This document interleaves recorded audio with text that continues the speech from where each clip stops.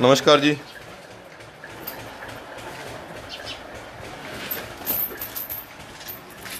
मैं आज Lakshmi dairy page पे लाइव आया हूँ और गुजरात से संदीप चौधरी, पेज लाइव, आया हूँ जी। और आपको जो ब्रीडिंग है, एक साधारण जो पशुपालक है, इसके घर पे कैसे ब्रीड तैयार हो रही है, ये आपको दिखा रहे हैं जी आज।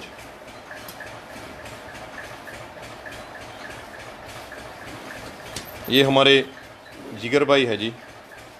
आगे आओ जी जिगर भाई। और जैसे रिलेटिव भी है और अच्छा खासा काम कर रहे ब्रीडिंग पे, जैसे शौक बहुत है इनका, चीज़ें तैयार करने का। तो इनकी आज दो भैंसे आपको दिखाएँगे जी, जिनमें पहले हमने सिमन लगाया था, सिकंदर और कोहिनूर का। तो दोनों जो बफेलोज थी ये यहाँ के जिला पंचायत में रिकॉर्डिंग करा चुकी थी दूध का।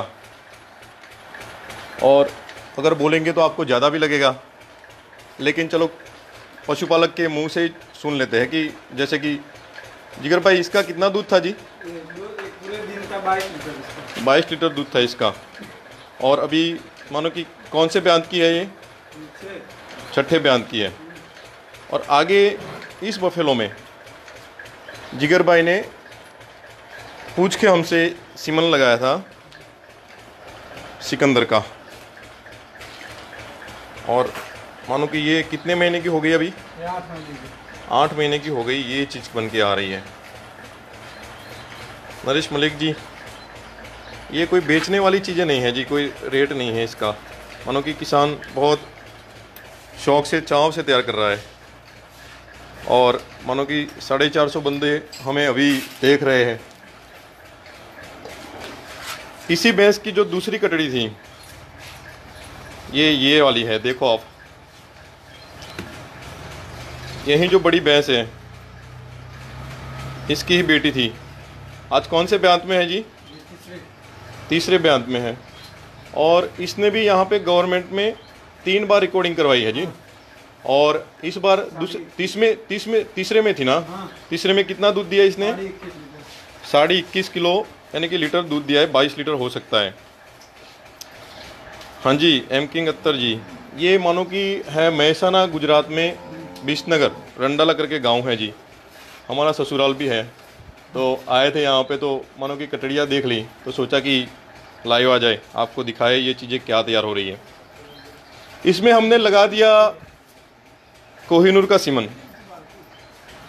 और कोहिनूर की जो चीज़ तैयार होके आ रही है, ये वाली आई। और आपको बता दें कि ये सिर्फ़ साढ़े छः महीने की है और पूरी कोहिनूर वाली चीज़ इसमें देख सकते हैं। अब दूसरी बात जो है बताने की, वो खास ये थी कि भैंस तो ये भी दूध वाली है लेकिन इसका जो लेवटा था, वो इतना बड़ा हो गया था कि इसको मिल्किंग करने में भी दिक्कत आती थी। प्लस इन्होंने आगे किसी को दे दी तो बंदा इनकी जैसी सेवा नहीं कर पाया और इतनी अच्छी भैंस की थन बिगाड़ दिया। आपको दिखाते हैं। इसे घुमाओ तो जी। तो अगर दूध वाली है और अगर सही से ब्रीडिंग नहीं हुआ है तो ये दिक्कत आ सकती है। तो जो भैंसें दूध वाली है, इसमें अडर की जो क्वालिटी है, वो भी उस टाइप की होनी चाहिए कि जिसमें आगे जाके कितने भी ब्यांत ले लें हम, लेकिन इसमें अडर ना बिगड़े। जैसे कि दन्नो है, कोई अगर पहली बार देख लेगा तो ये नहीं कहेगा कि ये भाई कितने ब्यांत हो चुके हैं। जैसे कि गोड़ा पेटी है पूरी।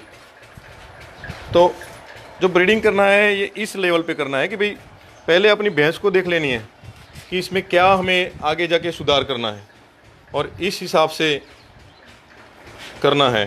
हाँ जी, Deepu Sikri ji, Lakshmi dairy farm doing good work. देखो जी, हम तो काम ही ये कर रहे हैं। नहीं कभी एक, मानो कि चार, पाँच साल से काम कर रहे हैं, लेकिन काफ़ी सारे बंदे पूछ रहे हैं कि भाई आप भैंस लोगे दोगे ये काम। लेकिन वो काम हमारा नहीं है जी। अगर मानो कल से स्टार्ट ये कर दिया कि एक भैंस लाएँगे और दूसरी बेचेंगे तो लाखों रुपया कमा लेंगे, इसमें कोई वो बात नहीं है। लेकिन जो अपना फोकस है, कि जो भैंसें मानो कि चेंज करनी है, दूध वाली बनानी है, इसमें से भटक जाएँगे।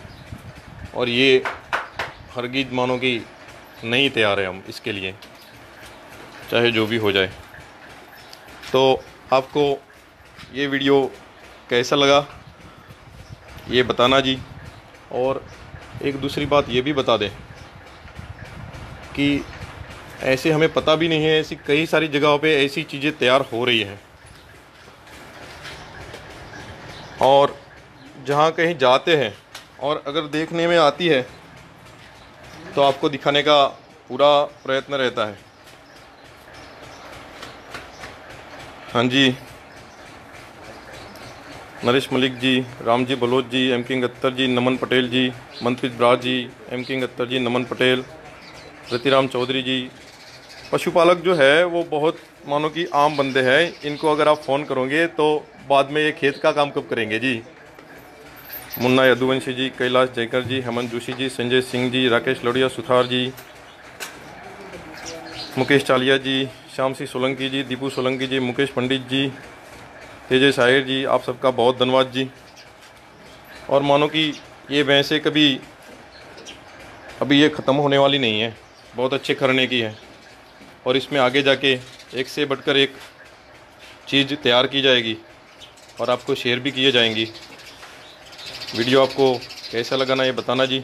और इसी के साथ हम इस वीडियो को एंड करेंगे जी। बहुत बहुत धन्यवाद आपका। जो सब हमसे जुड़े जी। Thank you ji.